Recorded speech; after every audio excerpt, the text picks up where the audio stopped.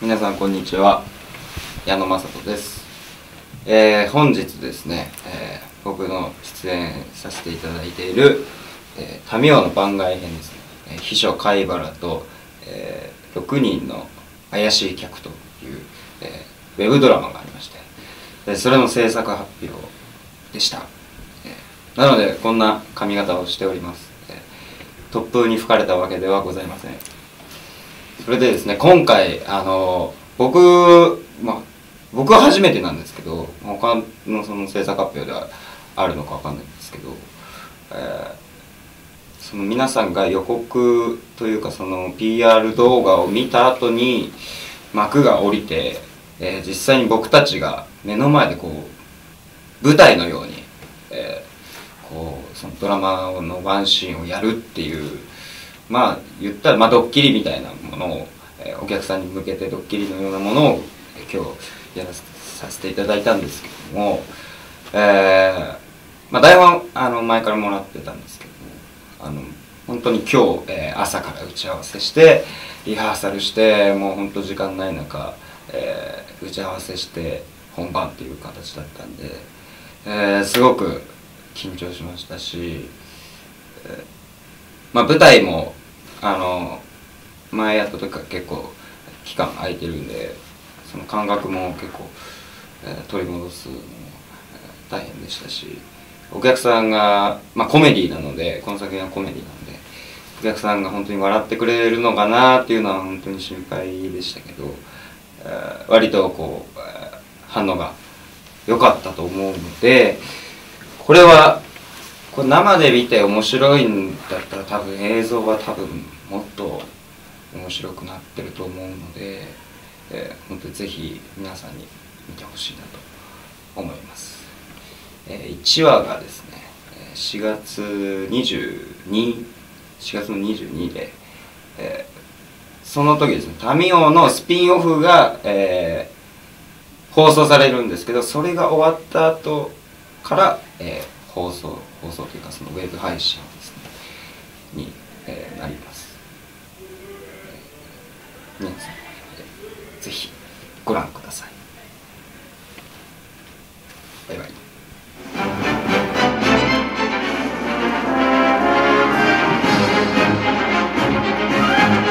お待たせいたしました。えそれではこれより民王の制作発表を始めさせていただきます改めましてビデオパスオリジナル民王番外編。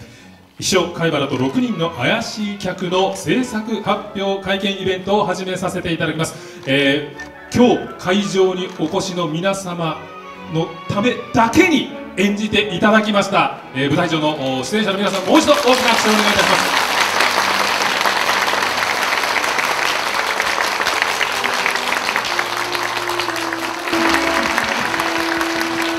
当選1年目の衆議院議員で宇宙レベルのおバカ。民政党の重鎮鶴田洋平の息子で政界三大おバカ息子の一人と言われています。鶴田渡役の矢野正人さん。あ鶴田渡役の矢野正人です。よろしくお願いします。はい、えー、改めまして、えー、鶴田渡役の矢野正人です。あー緊張しました ちょっとほっとしてます今。本当に今日、えー朝から入って、まあ、台本は前からいただいてたんですけど今日打ち合わせして本当もう皆さんがここに入る30分前ぐらいまでここでずっとやってたんですけどよかった無事に終わって。えー僕史上ですね、えーすごいバカな、えーコメディタッチの、えー作品をやらせていただいたので、えーすごく、えー楽しんでいただける作品には、えーなってると思います。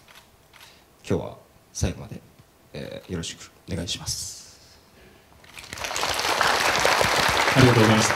えー矢野さんはじゃあ今回の、えー、シトコム演じていかがでしょう？そうまあ、先ほどあのお話しした通りあのまあ僕史上こう最大のコメディというか、えーバカな役だったので、まあ、僕割とその普段は暗めの役が多いんですけどあの今回まあ僕はチャンスだなと思ってで本当にあの狂ってしまえと思って あの怒られない限り結構もう振り切ってやらせていただきました。でそれがまあちゃんとこう作品になったのも本当にあの伊勢さんとかもラサールさんとか薩川さんとか本当みんな皆さんのおかげだと思っててもう本当すごいです僕本当になんかガンガンなんかセリフ変えたりとかアドリブ 入れたりとかしてたんですけどもう全部返していただいていやさすがだなと思って。でもやっぱそういうとこがちゃんとしないとこういう作品も面白くならないんだなっていう、まあ、新たにまた、えー勉強になりましたし、えー個人的にはですねあの6話かな。6話の結構頭のシーンで薬を僕が飲むシーンがあるんですけどその薬を飲む口に入れて水を入れた時にあの貝原さんに叩かれるんですけどでバーって吹き出すところがあるんですけど最初はあの、まあ、て僕が提案してその吹き出したいんですって言って貝原さんじゃあ叩いてもらっていいですかっていう流れだったんですけどそこにあのまさかこうラサールさんが乗っかっていただけると思わなくてあのじゃあ正面で受けますって言われてえいいんですかっていう。僕がバーって吐いたものをもうびしょびしょになって受けていただけていやもうさすがだなと思ってそこが僕はすごく印象深いです、はい。ありがとうございます。いやいいのかなって思いました。え矢野ですけどって。でもあのいやぜひって言われたので僕もじゃああのできる限りあのお答えしたいと思って。はい。須田君にも負けたくなかったですし、はい。えーもうバカ指数はかなり上だと思います。鶴田渉君をサポートするとしたらどういう形になすそうですね。なんかこう自分でやってて自分で言うのも恥ずかしいですけど。何ですかね。合宿。もうマンツーで合宿させてもうゲームとか携帯とかも全部取り上げてもう1週間ぐらいもう合宿で叩き込んでみたいな感じにしますかね僕だとあの人の話結構聞かないとこがあるんでグミばっか食って。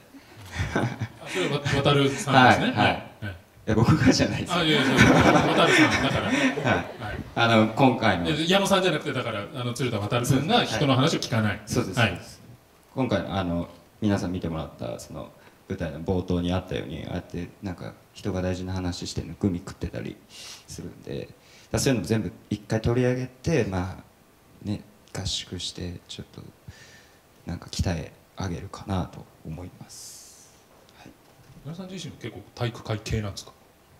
そうですね。気持ちは結構体育会系だと思います。えーそれでは出演者の皆様に今一度大きな拍手をお送りくださいでは、えー配信楽しみにしております。どうもありがとうございました。